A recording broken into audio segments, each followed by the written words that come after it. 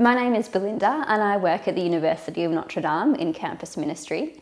And this year I was a recipient of the BJ Hickey Biblical Foundation Scholarship. So this scholarship exists for lay people like myself to undertake further biblical studies. And as part of my scholarship, I used it to spend two weeks in the Holy Land in Easter this year.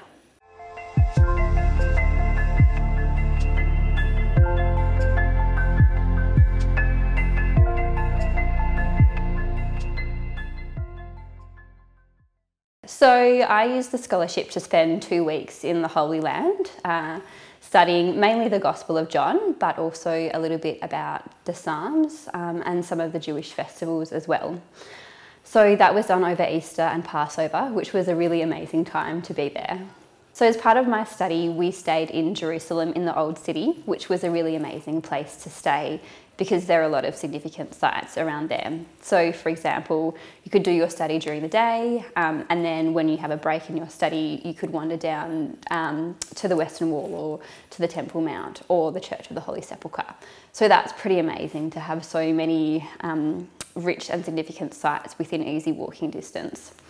So as part of the study, we were based in Jerusalem, but then we would also do day trips and a few overnight trips to other places within the Holy Land. So for example, we stayed for a few nights in Galilee, which was wonderful. So we stayed on the shores of the Lake of Galilee or the Lake of Tiberias, and we visited a number of significant sites around there. So for example, we went to Capernaum, we went to Tabgha, we went to Magdala, and it was really wonderful to actually see all of these places that you hear about and that you read about in the scriptures. Um, also, we went to Nazareth, we went to the Church of the Annunciation.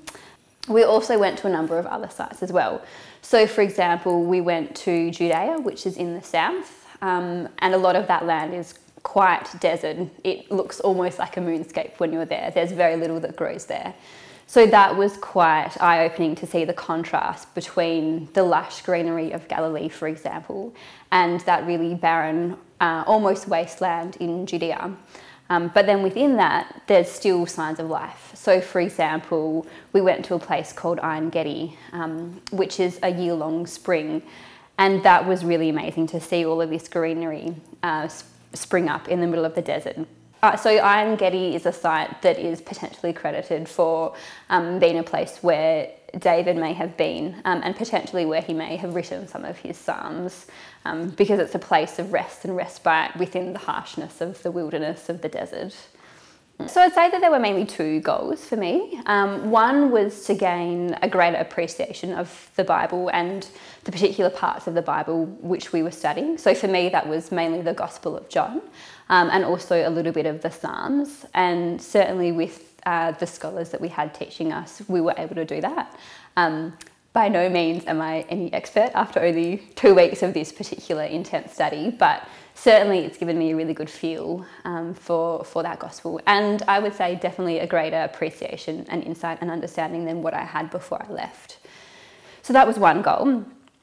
The second goal was, I guess, to become a little bit more familiar with the land itself. So often when we're at Mass and we're hearing the scriptures being read to us, or when we're doing our own prayer or, or Bible reading, we hear about these names um, and we hear about these places, but we don't always know where they are. Um, so for me to be able to go there and to be able to contextualize some of these places, that was another big goal that I was hoping to achieve. One highlight for me in particular was being on the Sea of Galilee. So we took a boat ride there and there was a moment when we were on this boat and there were 30 of us, about 30 of us on the boat and the, um, the people on the boat cut the engine and we were all just there and we had a moment of, of prayer and silence. And so to be there and to hear the waves lapping and to just have that moment of, I guess, kind of contemplation or reflection on where we are and what we're doing and um, what this means for our relationship with God, um, I found that really amazing. Yeah, I'd definitely say that that was a highlight. if anyone is thinking about applying for a BJ Hickey Bible Scholarship, I would say definitely apply. It's well worth it. It will enrich your understanding of scriptures, it will enrich your faith, it will enrich many aspects um, yeah, of, of your life and your spirituality.